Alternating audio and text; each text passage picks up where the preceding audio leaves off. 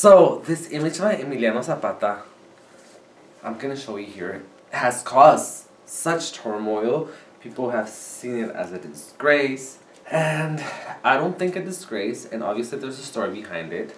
Let me give you a quick little recap of how I know who the person behind this painting is. So, the painting is based on a friend of a friend by the name Loreto. I met Loreto last time I went to Mexico City because I was going to the Jonas Bloggers birthday party girl, which was Miki. So Miki, which I had already met before, before, and then she had a birthday party. I was not invited to it, and then she got us in. So when I knew that this painting was based on her, I'm like, hey, I know this person. I've met her. I've been with her. I've been in the same car with her. I've been in the same house with her. Like, let me ask for an interview, and she's agreed to the interview, and you will see it here. It's just crazy how the Mexican public has reacted to it. It's been crazy how the world has reacted to it, and literally, this image has traveled the world. She's been in all sorts of media, and now you're gonna see the interview. It's in Spanish, and so if you speak Spanish good, if you don't, I'm sorry, but that's how it went. And watch the interview and see what she said. Loreto, muchas gracias por la entrevista. ¿Cómo llega esta oportunidad de esta pintura a ser? ¿Cómo conociste al pintor? ¿Quién es el pintor? El pintor se llama Fabián Chaires, es, eh, es un chico de Chiapas, vive aquí en la Ciudad de México. Este, nos conocimos en, en una fiesta, nos cruzamos, este, cruzamos miradas, me dice, lo primero que me dijo es, te quiero pintar, así, ni siquiera me dijo hola ni nada, me dice, te quiero pintar. Entonces yo le dije, ah, cuando quieras. Y ya coincidió que él iba acompañado de un amigo mío. De repente llega el amigo con él y le dice, ah, yo la conozco, cuando quieras te paso el contacto. Y ya después, a, lo- a los días, Fabián me escribe y me, me dice que hagamos pinturas, hicimos varias obras, en- entre las cuales está esa de... de Y este fue en el que se llama La 2014. Revolución. ¿Mande? Fue en- esto fue en el 2014 o 16. Sí, no, 2014, 2013. Bueno, ¿y esa pintura fue pintada con qué fin? Pues fue, fue idea de Fabián, fue este, idea de unas más de sus obras, pero pues como fue, en es- fue apenas el, el aniversario de Zapata, en, hicieron como varios, varios artistas presentaron obras ahí en Bellas Artes. Entonces esta fue la que más destacó y le dieron difusión los medios y la prensa. Pero esta fue este- esto fue este año, esto se pintó en 2014, todavía... no- Sí. no- o sea, ¿por qué la pintó en el 2014 si todavía no existía? Vamos a hacer este, esta obra, esta exposición con Zapata en el 14. ¿Por qué la pintó si todavía este no está en plan? O sea, estamos en 2019. Ajá, no, él lo que quería en ese entonces era como, no lo hizo ni pensando en Zapata, o sea, era yo representando una, una imagen de, de un mexicano arriba del caballo, como el típico mexicano que te ponen de que con sombrero y así, pero Típico, lo ¿no? que, lo que no te ponen es el lado femenino de esos mexicanos que existían y que existen. Que la gente lo empezó a bautizar como, ay, Zapata, relacionaban el bigote con el sombrero y, Ah. ay, Zapata, Zapata. Bueno, esta imagen ha causado revuelo. Sí, se hizo un escándalo, o sea, el presidente habló de ella, este, la gente se fue a manifestar, la querían quemar, la pintura. Bueno, yo siento que la gente tiene un problema porque a Zapata lo han relacionado en diversas formas y existe todo un gremio de cómo Zapata se ha representado. Esta vez está representado bajo la bandera LGBT. Yo, en mi opinión, pienso que la gente está enojada porque es ahora un representante de la comunidad LGBT. Nunca se enojaron como lo representaron como matador, como ratón, X, lo que tú quieras. Ahora lo representan como parte de la comunidad LGBT y ahora existe un problema. ¿Crees que es eso el problema? Pues yo creo que el problema es de que la gente, pues la doble moral, ¿no? De que supuestamente estamos en una época donde lo femenino no nos molesta, de que de tolerancia y cuando como algo que para ellos lo que lo quieren ver como como un símbolo macho de machismo y, y cuando ven que nosotros lo vemos lo vemos de otra forma, o que simplemente el pintor lo representa a sus ojos, o sea, es su forma de ver las cosas pues se atacan diciendo que no, no está cool. Es homofobia en cierto punto porque no están teniendo como la tolerancia que, tratando de censurar y tratando de como que callar eso se me hace muy fuerte. ¿Qué opinas sobre eso? Sí, te, digo que en realidad, o sea, me como que me, me decepcionó en cierto punto porque se supone que estábamos como en un en un nivel ya de que no afectaba como representar a, a, una figura masculina que le pusieran tacones, pues se me hace que no es como nada del otro mundo que la gente lo tomara de esa manera, de enojo y que usaran la palabra denigración sobre una pintura que, sobre algo que quiso representar un artista, ¿sabes? Su forma de ver las cosas. Pues sí, es la, es la expresión libre y aparte siento que la homosexualidad no es algo denigrante. Exacto. Pero la homofobia sí lo es. Bueno, una pregunta que tengo y quiero que tú me digas qué pasó porque siento que la pintura me encanta, se me hace muy chida, muy guay, pero el pene expuesto del caballo como que siento que sobra un poco. ¿A qué viene que el pene esté tan afuera? Así, o sea, ¿eso qué, qué, es? Pues, o sea, en realidad te digo que fue como la... Eso fue lo que quiso expresar el pintor, pero pues en realidad a mí se me hace como, como algo surreal en general, porque si te das cuenta es el caballo es en este es un caballo en realismo, pero en realidad tiene la forma de un caballo de carrusel.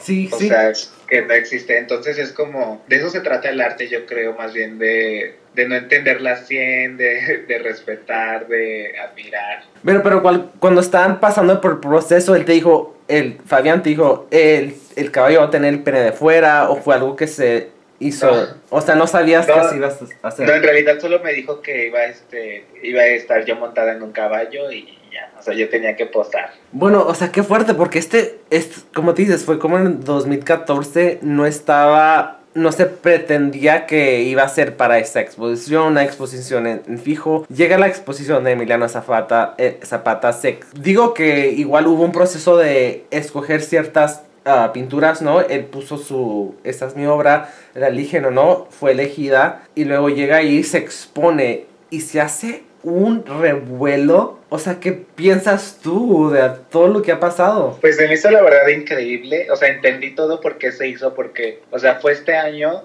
que, que pasó todo esto porque fue el aniversario de Zapata, entonces invitaron a muchos medios de aquí de México, de muchas televisoras, entonces le dieron mucha exposición apenas a la pintura.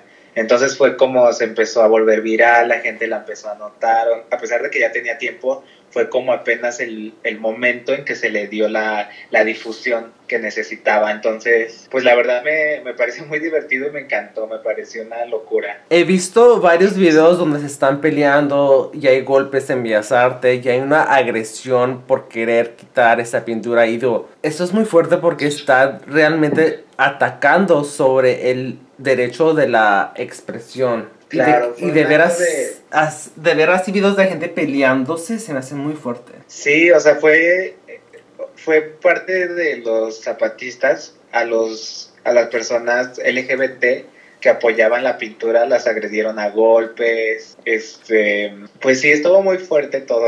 Bueno, y después de que ha pasado todo esto y esta pintura realmente se ha vuelto viral, has hablado con Fabián y has hablado con él de, de la reacción que ha tenido el público y y que esta imagen ha pasado por todo el mundo. Sí, claro, pues como a los dos cuando estaba todo en el momento así de que, en el, en, lo, en su, en el momento cúspide, digamos, este, yo recibí una llamada de Fabián, me dice, hola bebé, ¿cómo estás? Y yo pues aquí muy, estoy muy fría con todo el escándalo, le digo, y me dice, sí, ¿verdad? Y me dice, lo que pasa es que me acaba de llegar un, una nota con con todos tus, con tus redes sociales, explicando que tú eres la modelo. me dice, ¿tú estás de acuerdo con eso? Y le dije, pues sí, le dije, pues ya estamos aquí. Y me dice, bueno, pues yo, me dice, ¿me preocupas tú?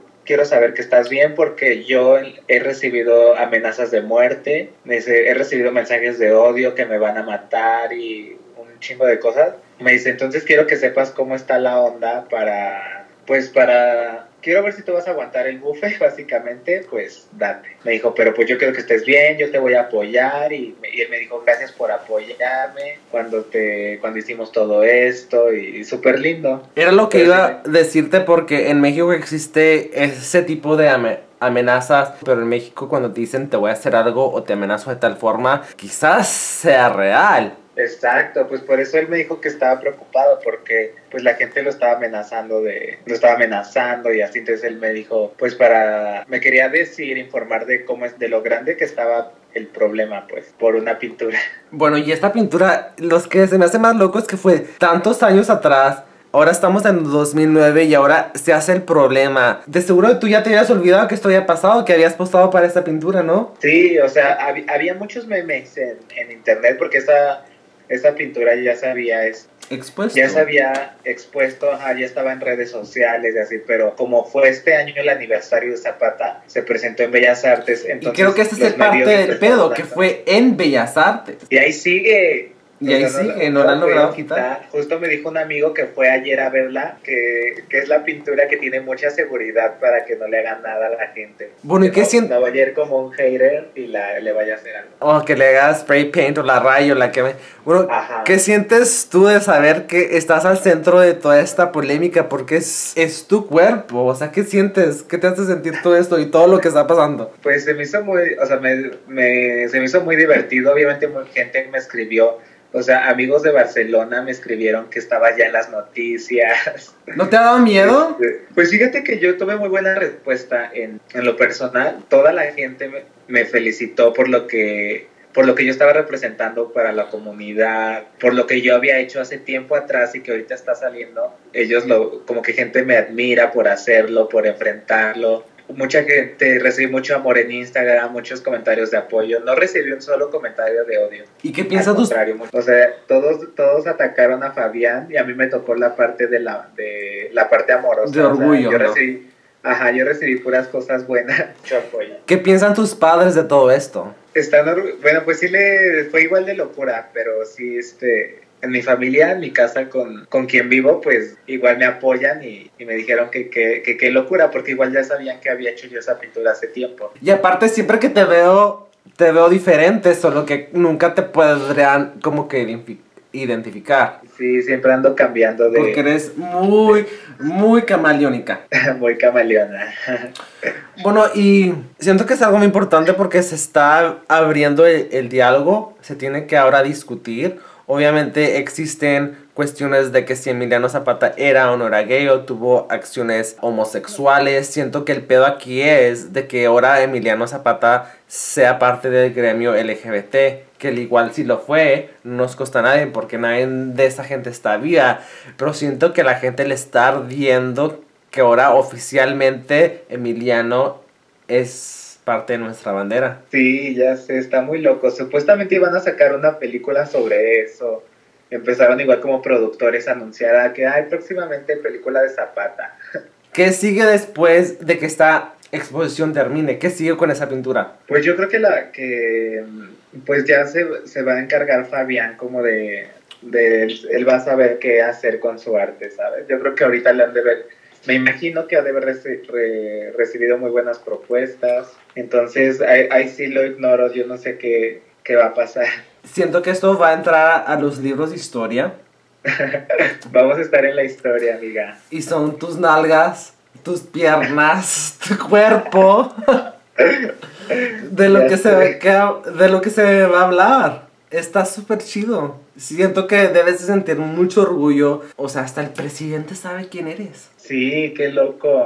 López Obrador dio un discurso en una mañana apoyando, diciendo que el arte era libre y que él se podía expresar como quisiera. Bueno, y el día que posaste para pintura, estabas sentado en un banco, ¿no? Sí, en, en un banco haciendo la posición. Me dice, imagínate que tú estás arriba de un caballo.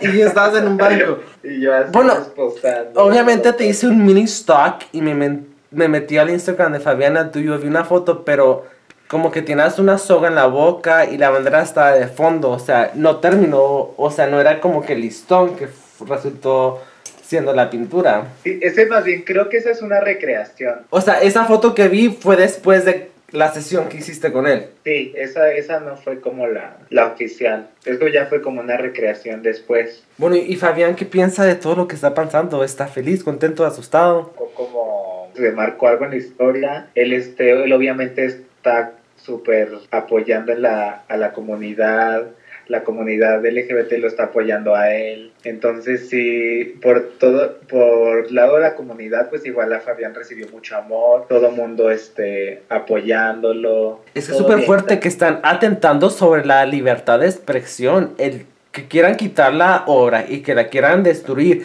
es un atento hacia la libertad de expresión y eso no puede ser y no puede pasar y no va a pasar. Exacto, sí, no, no pasó, ya llegaron a acuerdo, la pintura sigue exhibida ahí en Bellas Artes, para cuando quieran ir, ahí va a estar. Bueno, ¿y cuándo termina la exposición? Me parece que va a durar todo este mes, la verdad no tengo idea. Y aparte están en Marrakech también, ¿no? Sí, en el Marrakech está gigante, o sea, es, es en toda la pared. Nomás quiero, quiero saber por qué el pene de fuera.